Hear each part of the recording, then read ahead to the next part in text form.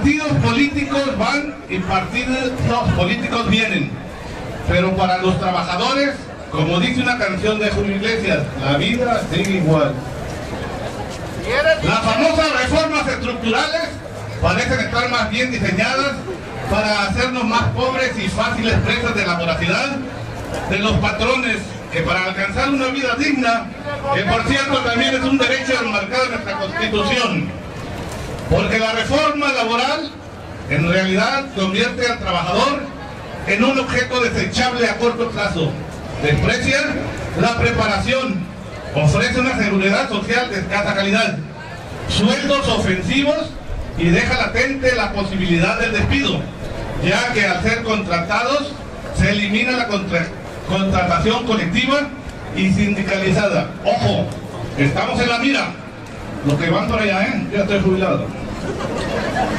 La reforma educativa tiene más interés en eliminar al CENTE que en resolver la grave problemática educativa que sufre nuestro país. Y haciendo uso de una campaña de desprestigio hacia el Ministerio Nacional, a quien responsabilizan de manera maquiavélica del fracaso educativo. Prepara, prepara el camino para una Bueno, prepara el camino para una privatización de la educación pública, modificando por enésima ocasión el artículo tercero constitucional. Por eso los maestros jubilados hoy estamos aquí porque hemos sido no solo testigos, sino partícipes de nuestro devenir histórico y de los movimientos más sentidos e importantes de México. Estamos aquí y lo hacemos de manera ordenada, respetuosa, responsable, pero también viril y gallarda. Los maestros jubilados no somos desechables. Dimos nuestros mejores años al país que amamos y forjamos con amor y pasión. Generaciones y generaciones de hombres y mujeres valiosos que hoy, de manera injusta, deambulan por la calle sin trabajo ni esperanza. Pero aún hoy tenemos mucho que enseñar. Por eso estamos aquí pidiendo subsidios, no estamos pidiendo subsidios ni limosnas, sino exigiendo con firmeza y determinación lo que a lo largo de toda una vida de trabajo nos ganamos. Que nadie te atreva ni siquiera soñar que dejaremos nuestra función social en manos de mercenarios o al mejor postor. Así estamos al mejor. Compañeros, ¿sabemos una cosa? Aún hay gente para rato. Muchas gracias. Mucho líder, mucho. Mira cómo está el magisterio. Gracias. Hoy en todo el estado, la sección 37, encabezada por nuestro secretario general, licenciado José Alberto Martínez Carrillo, recuerda a los mártires de Chicago, de Cananea, Sonora, Río Blanco de la Cruz, y estamos reunidos aquí en pie de lucha. Los tiempos hoy vulneran nuestro sistema de seguridad social, vulneran nuestro poder adquisitivo, vulneran nuestro empleo.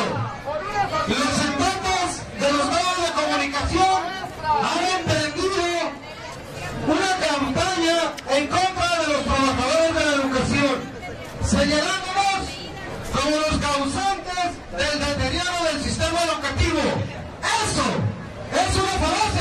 Compañeros. Y hoy aquí estamos manifestando para decirle al patrón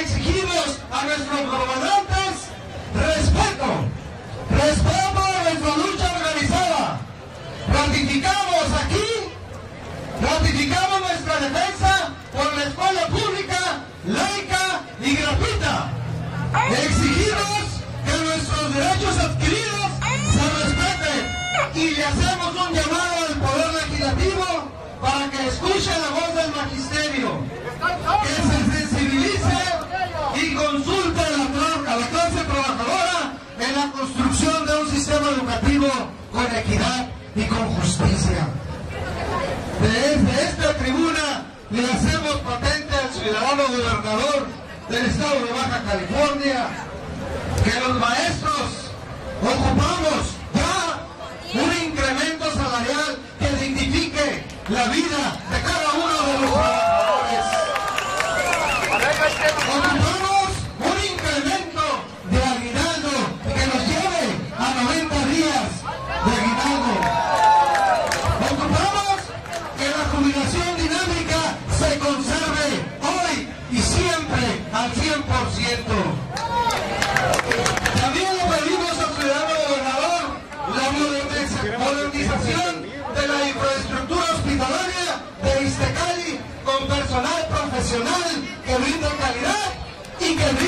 calidez también.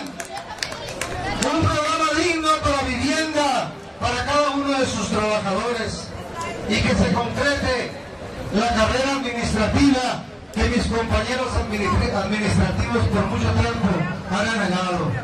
Exigimos que se concrete la carrera administrativa.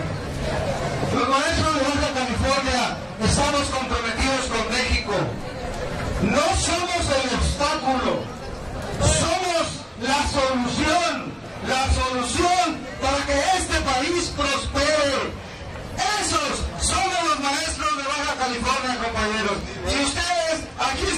manifestando con su presencia la sección 37 y los maestros de Baja California somos comprometidos con la sociedad. Muchas felicidades, compañeros.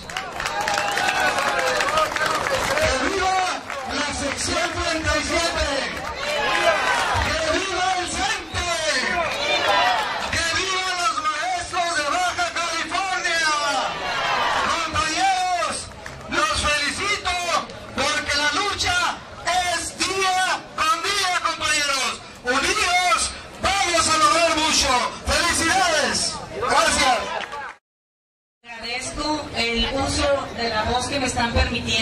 Compañeros del magisterio.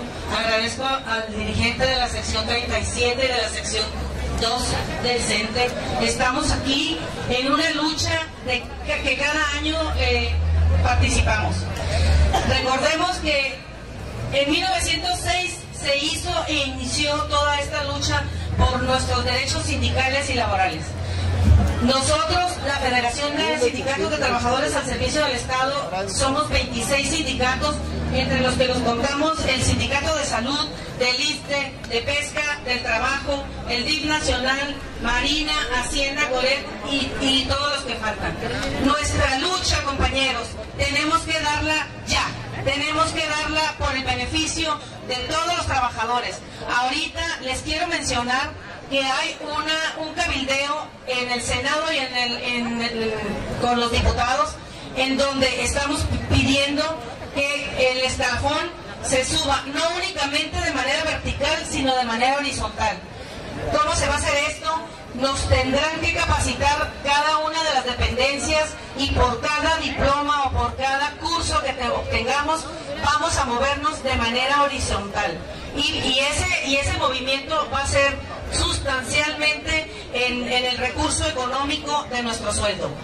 También, si ustedes terminan la preparatoria o terminan la universidad, van a poder subir de manera sesgada. Es decir, si ustedes están en el nivel 5, podrán subir al 7.4 y ahí se verá reflejado el, el beneficio económico que se va a dar. Esto, todo esto se está dando ya en la Cámara de Diputados y de Senadores. También les quería informar, compañeras y compañeros, que la, que la compensación garantizada va a estar incluida para efecto de pensión dentro del salario porque eh, ahorita no nos vamos con ese, con ese recurso cuando nos pensionamos. Quiero decirles que aquí la federación vamos a estar muy al pendiente y de, de mano de los compañeros del CENTE también para defender nuestros derechos, vamos a apoyarnos todos los trabajadores. En, la federación aquí en Ensenada estamos 100% con los trabajadores. Vamos a, ser incluyentes, vamos a olvidarnos de, algunas eh, cosas que no que pasaron en, en anterior y nos vamos a, poner a las órdenes también de los compañeros del CENTE y de todos todas las personas que dentro de la federación estamos incluidos dentro de los sindicatos. Muchísimas gracias compañeros. Estas son una de las, de las cosas que se van a dar dentro de la federación en este año. Muchas gracias y buenas tardes.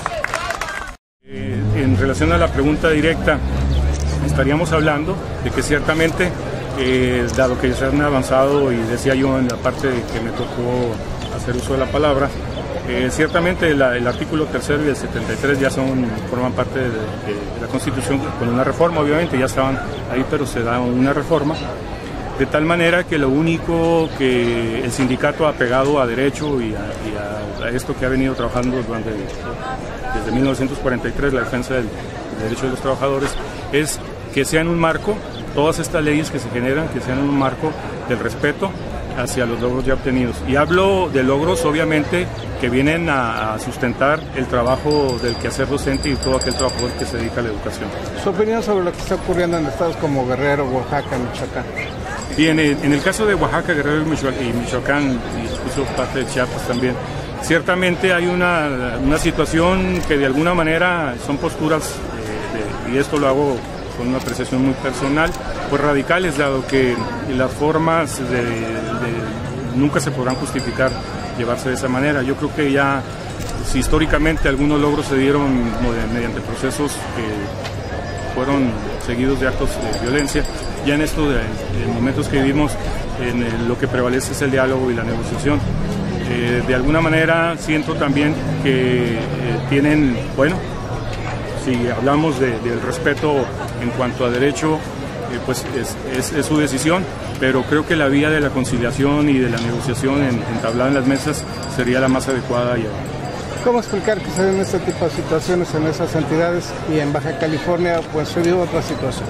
Bueno, eh, siento que parte de la, de la, cuestión multicultural de nuestro país y de la misma idiosincrasia que conforma pues la cultura, la economía, las tradiciones, en esa diversidad eh, ciertamente pues se caracterizan las entidades por, por diferentes estilos o formas de vida. Eh, los estados del norte, eh, esto lo digo pues nuevamente de manera personal, nos hace que tengamos una forma de vida diferente, sin, claro, menospreciar las situaciones, pero entran en juego aquí situaciones definitivamente culturales y económicas que hacen que al paso de los años en estas entidades se, se lleven a cabo formas de este tipo. Eh, nuevamente pues, lo debo decir, no, no avalo ni respaldo esas formas, ¿no? Creo que el diálogo es la mejor manera de llevar a cabo. Porque incluso en Guerrero ya hasta el gobierno del estado está preparando 600 maestros para suplir a los que no, no van a, impartir cátedra, clases. Sí, y, lamentablemente también decía hay un momento, si los medios eh, de alguna manera, y lo debo de, de, una manera muy respetuosa hacia ustedes, algunos medios, sería puntualizarlo, han entrado en una dinámica de desprestigio. Sí tendríamos que entender que la educación es responsabilidad del Ejecutivo, de las entidades y los resultados que se dan en educación pública no son eh, exclusivamente causas del docente dentro del aula.